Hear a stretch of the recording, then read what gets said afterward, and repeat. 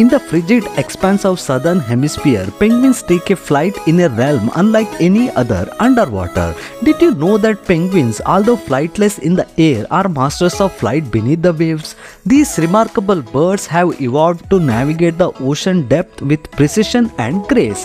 While they may not soar through the skies, their underwater flight is a breathtaking spectacle. Their flipper-like wings act as propellers, allowing them to fly through the water, reaching incredible speeds.